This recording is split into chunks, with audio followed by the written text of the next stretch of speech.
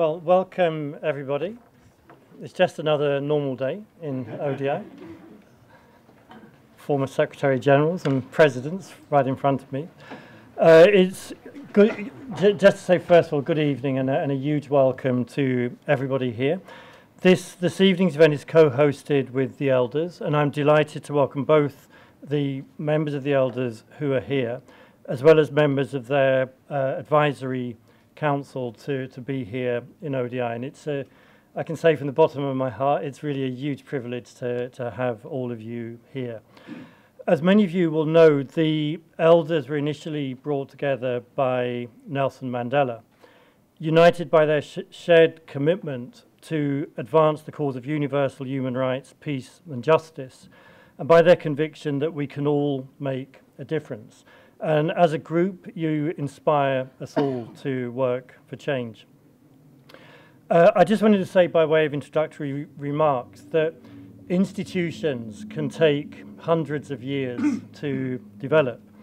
We have one just down the road here by Big Ben that is celebrating its 800th birthday this year.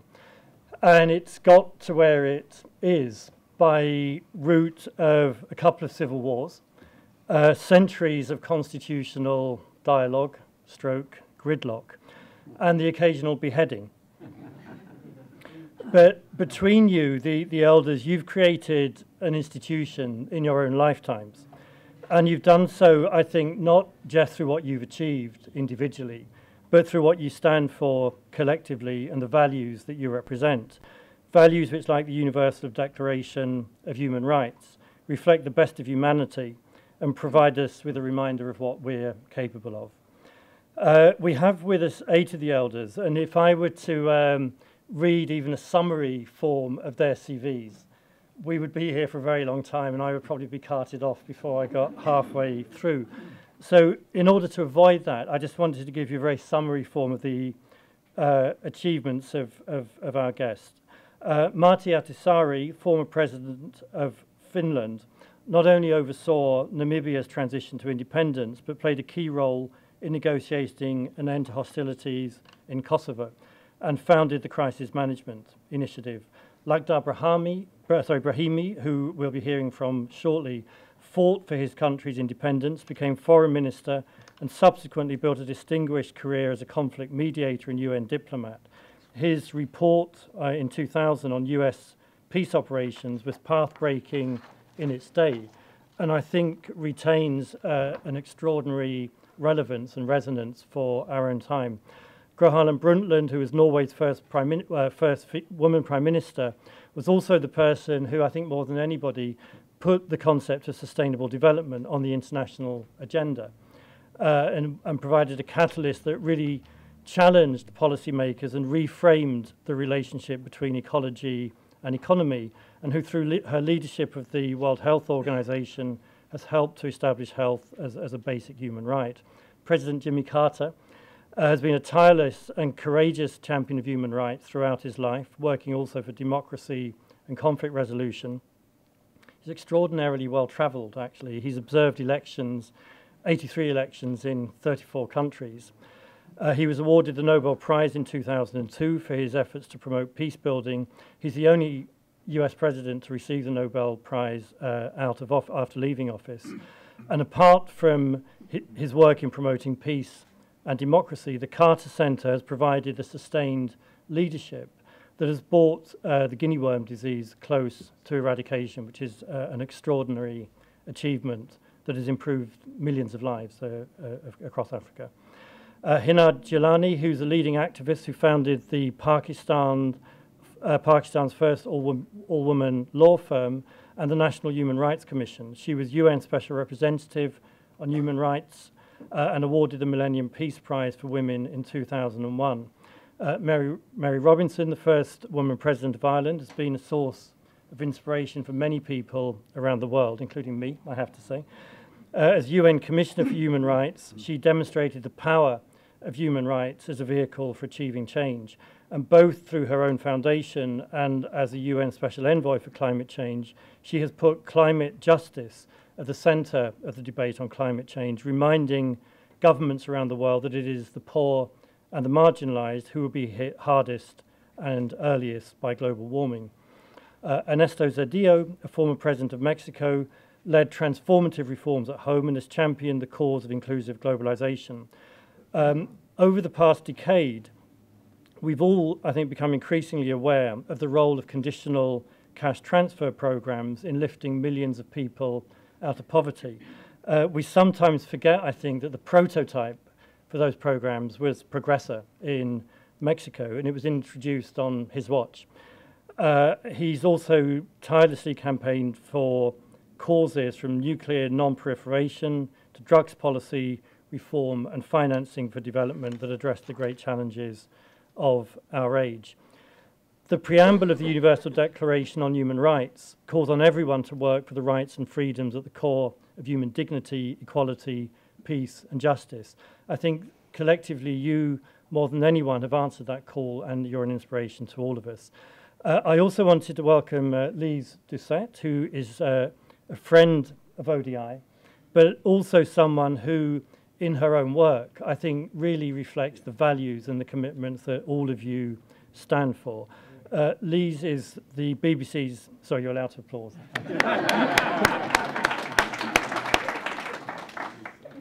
I'll have to remind them to put in stop, wait for applause. Uh, is the BBC's chief international correspondent, and she'll, as I said, chair this evening's event. Uh, I'm really pleased to see so many friends here this evening. I would like to welcome those of you who are watching the event live around the world. Uh, please do follow the event on Twitter using the hashtag, um, hashtag capital M, capital E, crisis. Uh, this evening's event will begin with an introduction by Kofi Annan, who's the chair of the Elders. He really doesn't need any introduction, but uh, Mr. Annan was Secretary General of the UN from 1997 to 2006. He was awarded the Nobel Prize for Peace jointly with the United Nations, quote, for their work for a better organized and more peaceful world. This is the world that Mr. Annan has worked tirelessly to create. He was the force behind the Millennium Development Goals and the Global Health Fund. His influence led to UN member states accepting a responsibility to protect citizens.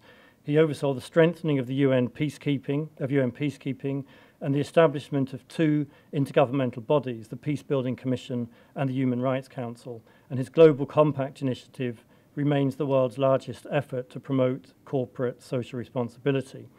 Both in office and since leaving office, Mr. Annan has used his experience to mediate and resolve conflict. In 2012, he served as the UN Arab League Joint Special Envoy on the Syria crisis. Um, I could go on, he's chair of the Africa Progress Panel and many, many other things. He, he also has formidable persuasive powers, which I've been on the sharp end of a, couple, a couple of times. So, uh, Mr. Annan, it's a, it's a huge privilege for us to have you here, and uh, I'd, I'd like to pass over to you now, if I may. Thank you.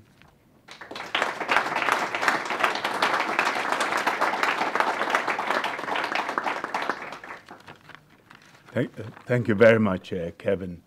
And I think uh, you should be careful going around saying one doesn't need introduction. you know there, there's a story, Nan, and some of you have heard it enough, where we were taking holidays in Como and we were traveling incognito. We, we really wanted to have peace and quiet. And we walked into a, and we thought we had succeeded until we went into a shop to get a newspaper. And we saw a group of men st staring at us. And one of them broke away and walked straight to me and put his hand out, said, Morgan Freeman.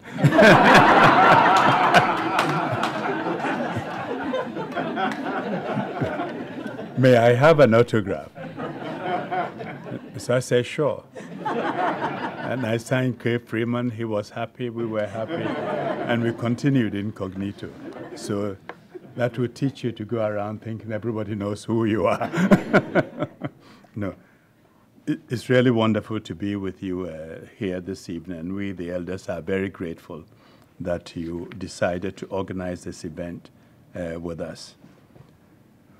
Obviously, Middle East is a very topical issue. It's an issue that is consuming not just the region, but the whole world.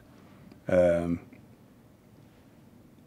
as a former Secretary General of the United Nations, I know both the human cost of wars and extremism across the Middle East. In the past, when one talked of Middle East, you were limiting yourself to Israel and Palestine. Today, when you talk of Middle East, is the whole region. In fact, you may even begin in North Africa, going through the region all the way to Pakistan. There are problems everywhere.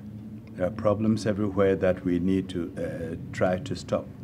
Conflicts can only be resolved effectively by addressing the root causes uh, of the problem. In the Middle East and in many other cases, this comes down to the borders and definitions of nation states that were defined in an earlier period, in the colonial era. 100 years after the Sykes-Picot Agreement of 1916, the borders and nation states it defined are almost near collapse. I saw this firsthand as former Secretary General, as former envoy for Syria, as uh, Kevin uh, mentioned. The disintegration of borders and established states' relations has wrought a terrible cost in terms of war, terror, internally displaced people, and refugees. Today we have with us one man, he's the only one I know who made peace in Middle East and made it stuck, President Carter. You're the only one who's done that. Many have tried after you. it's not, it's not been, it's not been easy. Of course, Lakhdar did Taif agreement. But what I, I want us to focus on is, the, is that if we are going to resolve the crisis in the Middle East, it's not only the US and the Russians who have to work together. They need to bring in the regional powers, Syria, I mean, Saudi Arabia, Iran, Turkey, possibly Qatar, which is funding quite a lot of these things. Because unless they make a common cause and discover that they have a common danger, we share a common danger, which if we don't come together to resolve, we will never be able to contain this uh, uh, crisis. Europe, after the 30 year war, realized that they had a common danger. They needed to come together, and they met in Westphalia, and we got the Westphalia Agreement. Will the countries in Middle East have their Westphalia moment and find a way out of this? Can they do it alone? What help should countries like Russia and the US bring to, to bear? They are working better now, and I hope it will continue. And uh, they will be able to work and bring the regional countries together to make peace for the sake of the region, for the sake of the Syrians, who are today suffering interminably. And of course, quite a lot of the fighting going on in Syria has nothing to do with Syrians. You have lots of proxy wars and lots of people trying to uh, promote their own uh, agendas. And I, I, hope this evening we are going to have a, a fantastic discussion, probably some ideas of how we can come out of this may emerge. It doesn't matter how small the idea is, but hopefully we will put some seeds forward. So let me get out of the way so that Lyse Doucet can continue. Lyse, for you.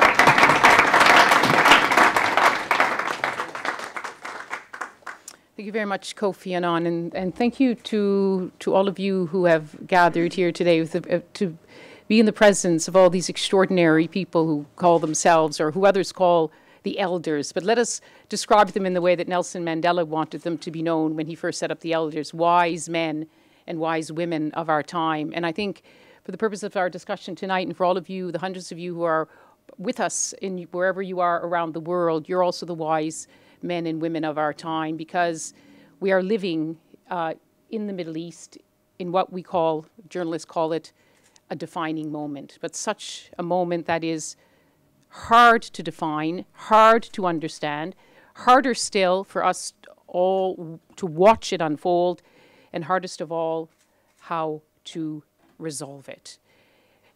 Look across the region. It is, as the British say, we are where we are. Where are we? Fragile, failing, and failed states. And in what Kofi Annan nodded to, what the essential conflict, the first conflict of the Middle East that we worried about for decades, the two state solution, fast slipping away from us. But we also want to remind ourselves tonight that this is not just a question, a crisis among states.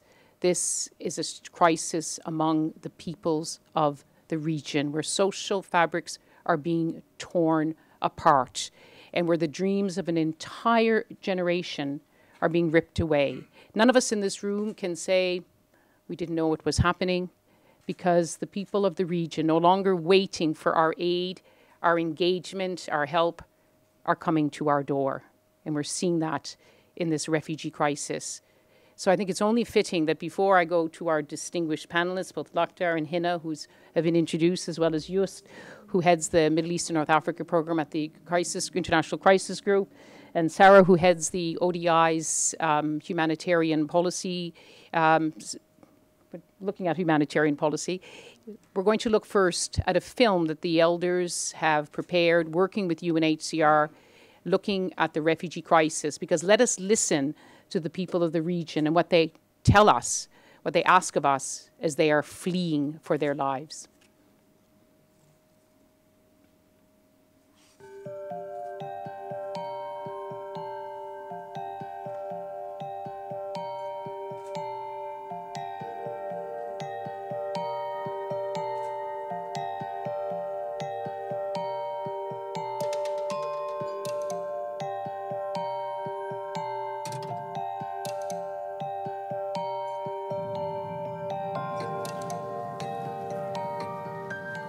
في كثير من الناس بتخاطر بحياتها بين ايدين المهربين للجوء لاوروبا لو كنت مكاني هل لديك خيارات أخرى Putting one's life in the hands of smugglers is very dangerous, is very expensive.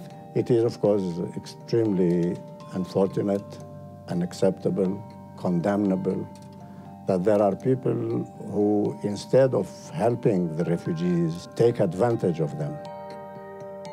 The only real alternative is to demonstrate that there is a legal pathway for refugees to get to safety and they don't have to put themselves in the hands of smugglers. I think that there are two options here. One is to multiply these alternative pathways, to give more options for resettlement, scholarships, humanitarian visas, family reunification. And the other important option is to provide more assistance to those countries that host large numbers of refugees and to the refugees themselves. صارنا خمس سنين بلبنان هل في أمل تحقيق السلام؟ I'm confident that there will be peace. I can't tell you when, but it is important that the United States, the Russian Federation, and the regional powers work together that the cessation of hostilities hold and the peace process in Geneva succeeds. Peace will determine the ultimate solution to this massive displacement of refugees. People in Europe should know that we are fleeing in search of safety for ourselves and our families. What can be done to make them understand that better? We need to talk about this. We need to dispel the image that refugees are uh, something we should be afraid of. Europe should understand that most of the refugees coming out from Syria and others are really seeking safety and protection. There shouldn't be that kind of amnesia which makes us forget what happened after World War II, where the whole world opened up its arms to receive European refugees. It is very, very important that we understand the importance of uh, receiving them, of uh, offering them opportunities in countries of asylum, and not erecting walls to keep them away from us. What has happened to compassion, empathy, solidarity? Morally, we have an obligation to help each other and respect the sanctity of life.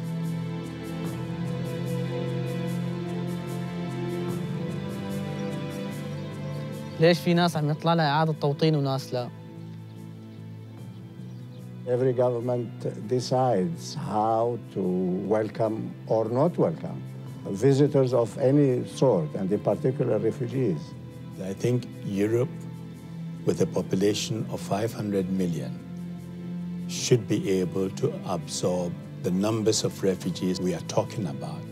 Uh, UNHCR has been promoting the notion that alternative pathways to uh, safety, to admission to third countries, to places where refugees can be taken care of in a better way, especially vulnerable ones. The solution is the return of uh, peace and stability to Syria and the possibility for Syrians to go back home. But it is not a problem for Europe alone. It's a global problem, and other countries should be able to help. From America to Asia to Africa, we are in this together.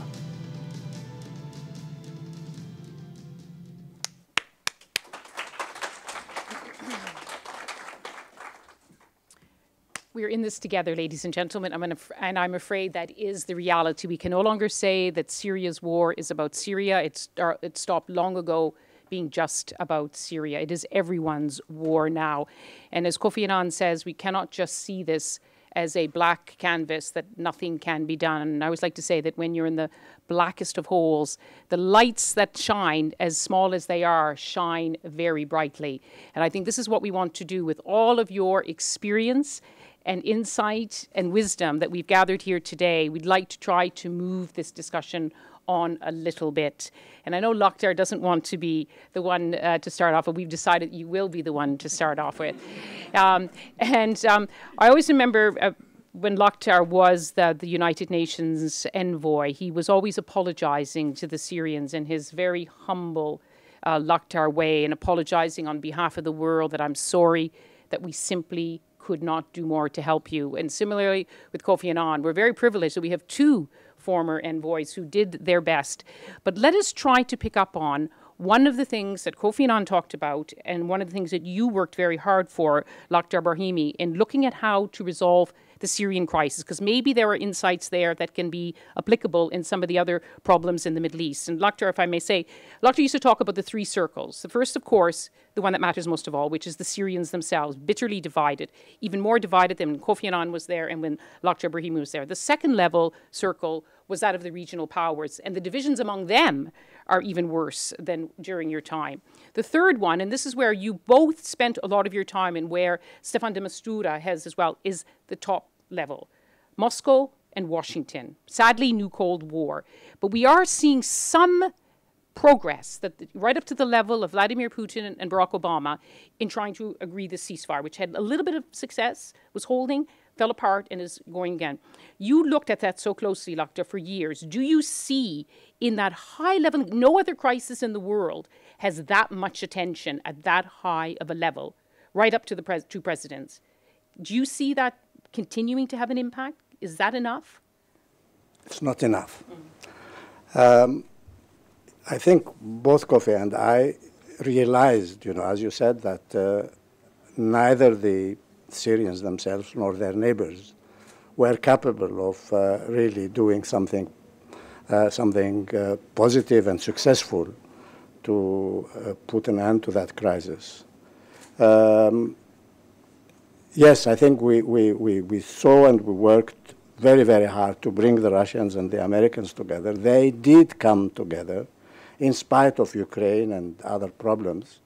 Uh, but I don't think, my, impression is that they, they do know what needs to be done.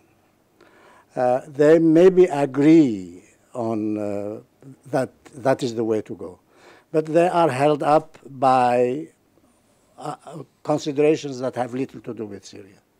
Uh, in particular, the, the, the, the, situation in the, in, in the region and the divisions that exist in the region, uh, each of these two governments uh, have uh, allies in the region and also outside of the region uh, who are pulling them uh, back. And I think the call is, uh, you know, this is the worst crisis of this time. Um, you know, the, the country has been destroyed uh, like no other country that has uh, uh, uh, known similar crisis, with the difference perhaps of Afghanistan at a certain time. so, you know, a, a, a solution is, is absolutely urgent. The Europeans, I'm sorry to say, have started to realize this only when people started knocking at their door. Uh, there's nothing new uh, uh, today that was not there some years ago. Ask the, the, the Jordanians, ask the, uh, the, the, the, Lebanese or, or, or the uh, Turks, and a lot of other countries who have received hundreds of thousands, millions of refugees. So I think the, the problem is known, the, the, the way to go is known.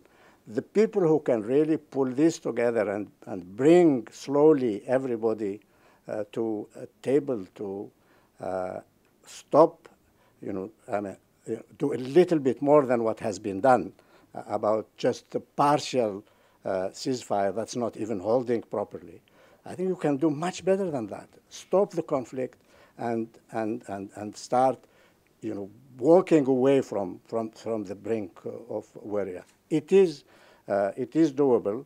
I think we must be grateful to Lavrov and, and Kerry for, uh, you, you, know, their persistence and uh, trying to work together, but we expect more from them this phrase, stop the conflict, I mean, I think everyone and most of all the Syrians, uh, at least the Syrians who are not on one warring side or the other, would like to stop the conflict.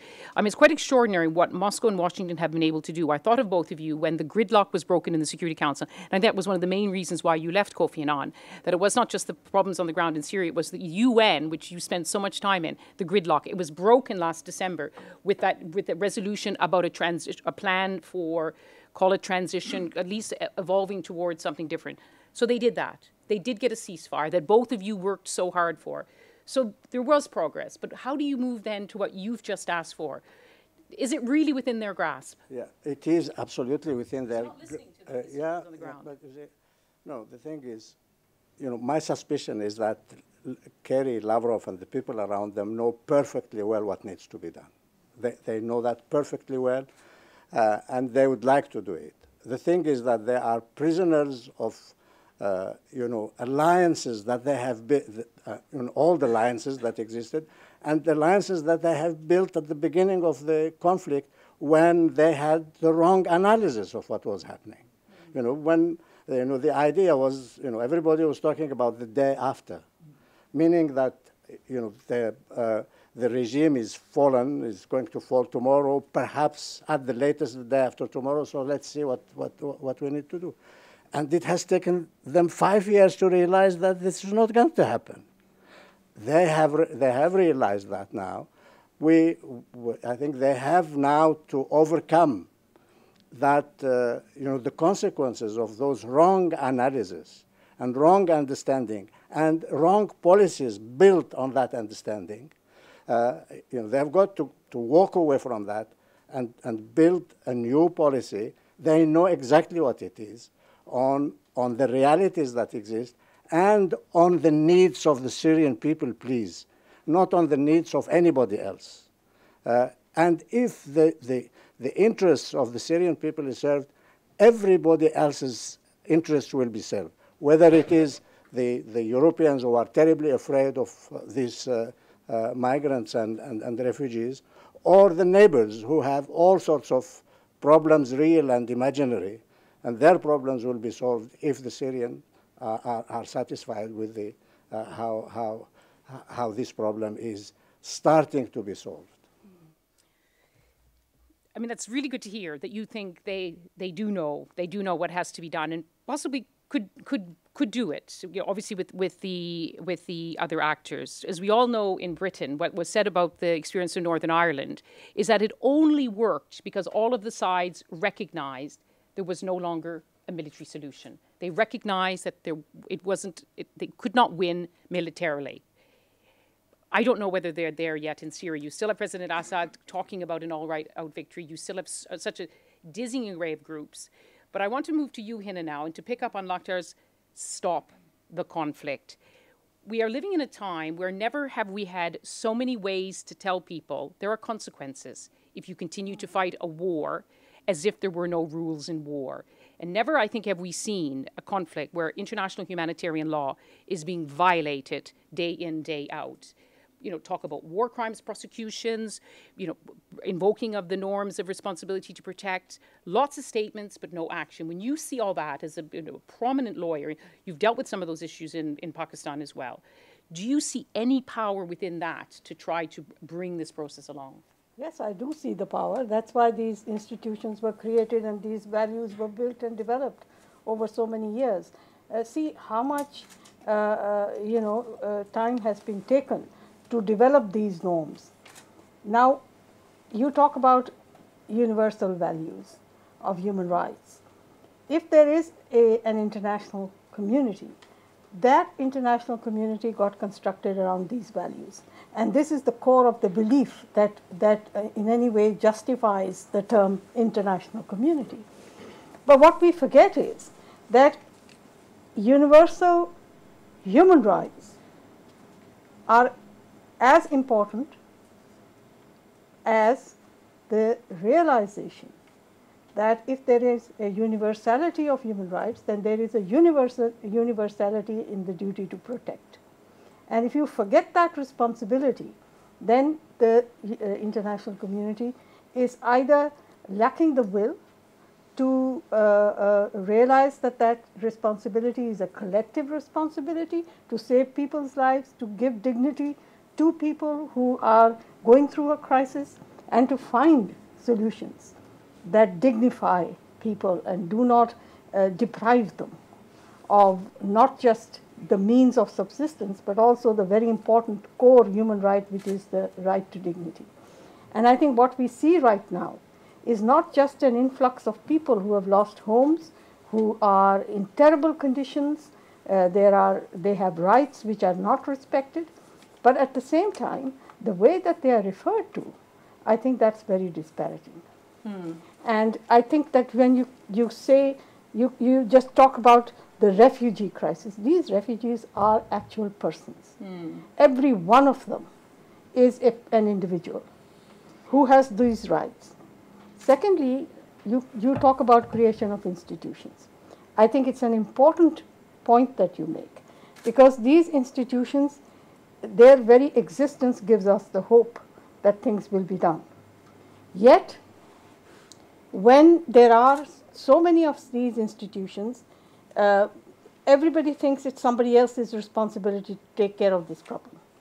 The most authoritative mandate on peace and security and accountability for gross human rights violations that are the cause and effect of human rights violations, uh, the, the cause and effect of conflict, then it is the first, the first thing that we look for is action on the part of the Security Council. Well, this is it. I mean, what is, I mean, in terms of the toolbox the world has now, is there anything which is not being used that could be used? Because we have seen in the Balkans War, we, you know, in the, the court for the former Yugoslavia, we have seen in Liberia that criminals do go to court, that there is an end to impunity, but it's long after the wars have ended. And unfortunately, you know, if Syrian war, as so many have said, if Syria's war goes on much longer, there's not going to be a Syria anymore. So, what in the world's toolbox could still be used? What could happen at the UN Security Council? In the world's toolbox, these tools are eventually used. The point is, if you use, don't use them at the right time in order to deflate conflict mm. and in order to deter the uh, political shenanigans that go behind the causing of conflict. Mm-hmm. And people have some sense that there is somewhere accountability, which is very serious, and it will happen.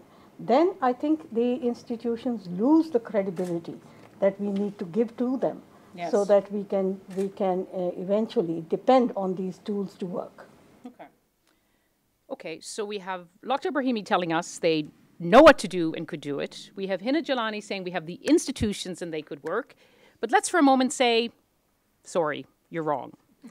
what do we do? We turn to the International Crisis Group, who will tell us what to do. So let's say for the moment that they're not going to work eventually. What other things can happen sometimes by default or the way things will just evolve? For example, the borders. You know, there's talk in Syria that it will be soft partition. There's talk about that in Iraq and in Libya as well. Does the region have any resources or ways of dealing with this crisis that doesn't mean an all-out war, you know, an all-out forever war? It would be nice to think so. Mm. and it is also very easy to be disheartened by what is going on.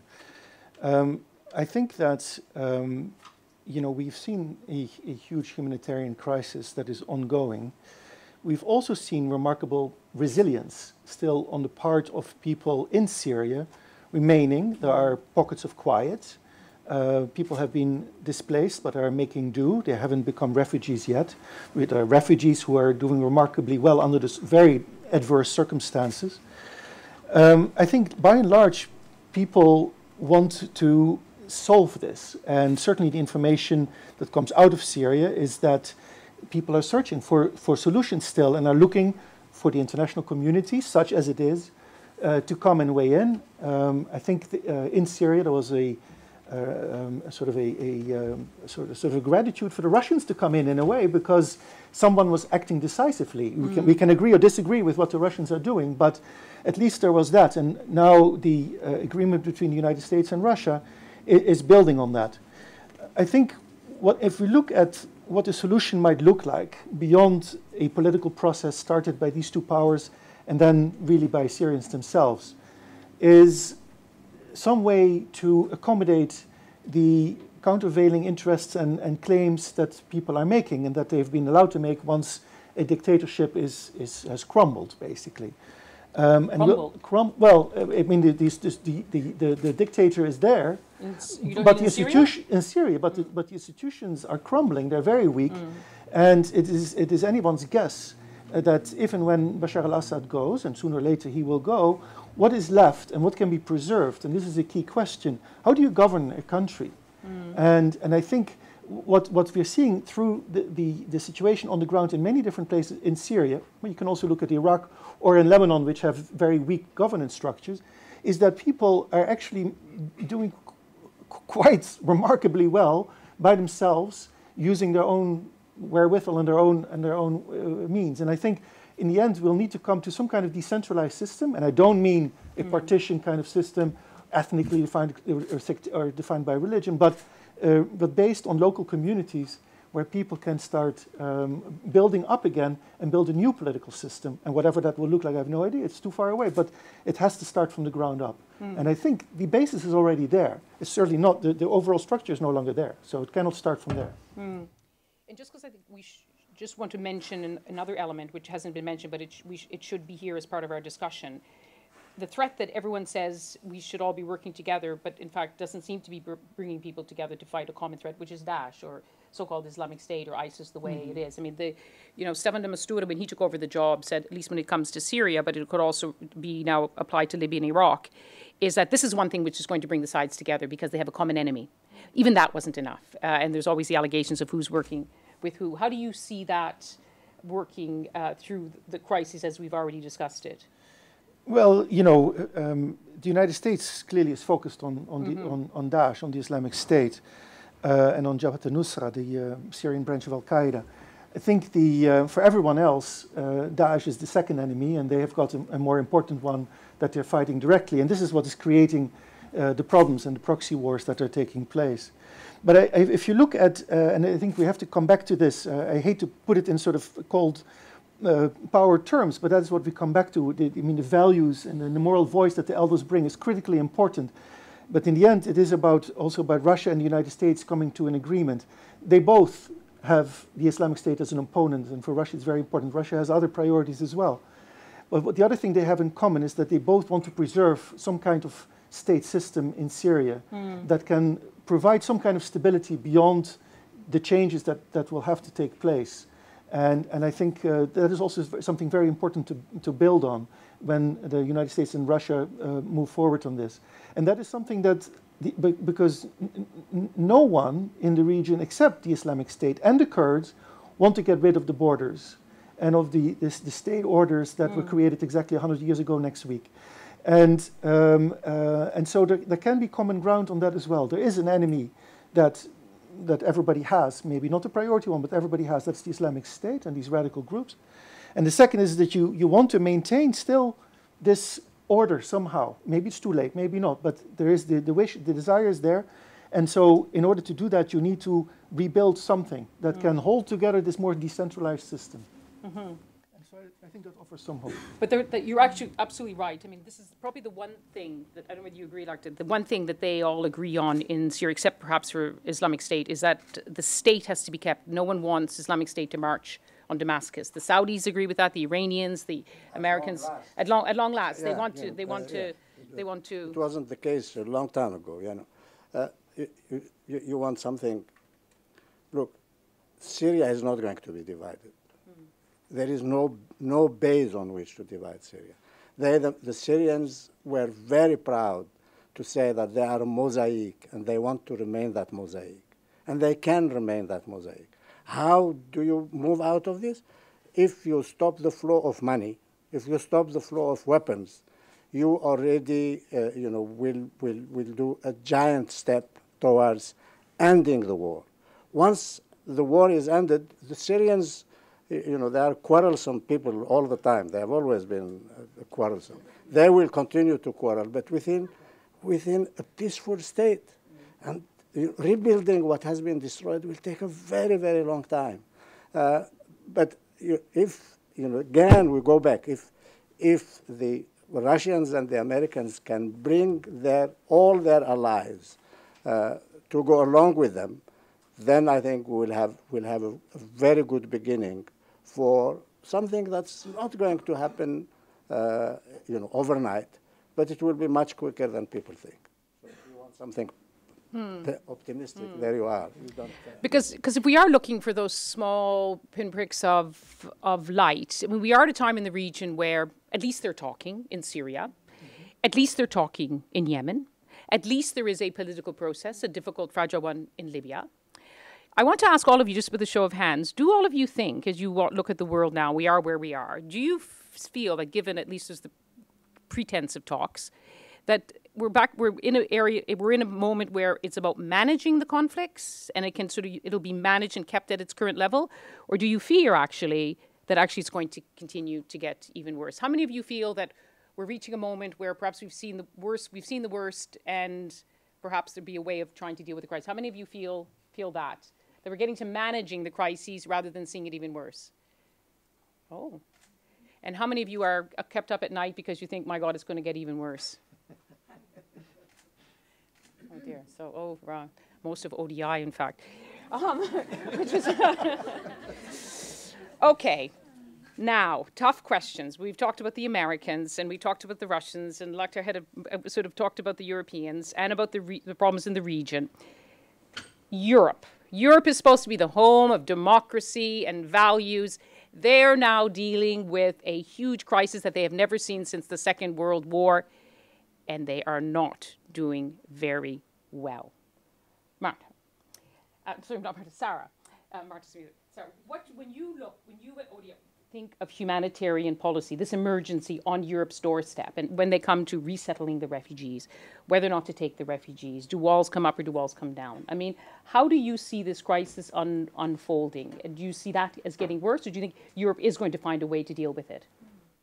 It's interesting that you call it a refugee crisis. You know, I often say to my colleagues, uh, Europe doesn't have a refugee crisis. What we have is a crisis of European solidarity. It's not a crisis of numbers.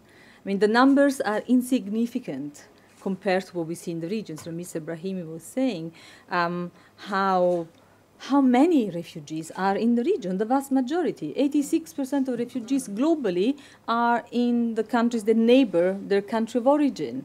Um, 50% of the displaced and the refugees are hosted in the Middle East. Um, and that's globally. You know, those who arrive to Europe, they're really a small amount. And surely Europe could do better in terms of upholding, you know, those principles and those values that has been calling other states to uphold for a very long time. You know, Europe has always made very strong pronouncements about the asylum regime and made demarches to you know countries that were hosting large numbers of refugees for a very long time. And now, you know, with uh, uh, policies or deals like you know the deal with Turkey, we are you know really um, showing the worst side of you know hypocrisy really. You know there are many countries that host refugees in large numbers they're teaching us a lesson in terms of morality in terms of humanity. And unfortunately we're setting a precedent. I mean look you know just two days ago the announcement of the government of kenya you know thinking of closing the camps of kakuma and dadaab that host hundreds of thousands of people how are we going to ask you know as european countries kenya not to do that when we are not welcoming refugees anymore. And yet, we have a lot of examples from around the world of how much benefit refugees do bring to our economies and our societies. Every study that has been done from resettlement studies in Canada, in the US, in Australia, but also in Uganda shows the value that they bring in terms of economic benefit, but also the values in terms of, you know, when they're socially integrated, that they bring in terms of diversity in the society. Now, the key element is investing in them. It doesn't happen, you know, by default. You know, there have to be policies that really support the refugees, you know, to make this contribution to society like Germany is doing, like Sweden has been doing, like many countries have been doing, you know, globally for many years. Um, it, refugees will not be deterred by the kind of policy we're putting in place. But some, some, I mean, it is Europe's crisis, and you do say it's a crisis of solidarity, but it's underlined that European values differ by European country, and some Europeans have different values than other Europeans. If, Hung- just if Hungary and Poland insist that they are simply not going to take any more refugees, it's not a question just of the leaders, but that people in their countries don't want any more refugees and don't accept the statistics you mentioned, is it then incumbent on Germany to take even more, Sweden to take every, even more? I mean, even Britain is not taking that many. Canada has the luxury of being an ocean apart and can take in more and can be a bit more choosy, but they are opening the door to refugees. So how do you see this developing then, since there isn't a Mr. Annan said it is a global yeah. crisis and clearly there has to be a global solution. But even within Europe, I think, you know, the, the, the, if you want, the media are dominated by the lines of populist parties that unfortunately tend to have you know the, the last word at the moment on this debate. But actually, I am not so sure that you know, in so many countries, even in Hungary and Poland, uh, people don't want refugees because you also have a lot of volunteers, a lot of people that are actually helping refugees, including in those countries. We have you know 50,000 little organizations and groups of volunteers have sprung up all over Europe. They're actually doing the work that a lot of the institutionalized, you know, international NGOs are not doing quite at the scale that is required in Europe.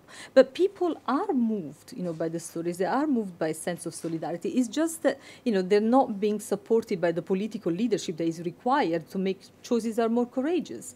But I think there are. You, what would you say to Federica Mogherini, who, or any of the other European leaders? They came up with this plan to resettle 160,000, was it? And they have settled a fraction of it. And they had a big London conference uh, for Syria for 20 billion. And now 1.5 billion has been raised of that, so 19 billion to go. So the, the, the words are great, but the reality is not. Yes, we should be ashamed. Yeah. I would say to her that we should be ashamed of our actions mm-hmm. because we cannot turn our back on a crisis that is so deep and so profound um, when you know many other countries are clearly supporting refugees so much more significantly than we are doing we need to do our share other countries outside europe need to do their share but you know this is incumbent upon all of us, and we cannot shy away from it. Mm-hmm. And it's, you know, I think the one area they have been, there's been a little bit more effort into trying to, you know, to patrol the coast, but that, of course, is a, is a security response. But they haven't done what the UN said. You have to have screening. You have to deal with this as a proper refugee crisis. If some of them are migrants, and decide at the borders or decide somewhere in the region who's a refugee and who's not. If you have place for migrants who are seeking jobs, and those decisions should be made. Um, in my profession, we say, thank God we only have to write about it because it is, it is, it is difficult to. I want to just begin by opening it up to all of you. We want to try to pick up on, on some of the threads. And if you want to raise your hand and say who you are, either we can pick up with the political side of things, with what the, how Lakhdar has set it out, or with the refugee side. Um.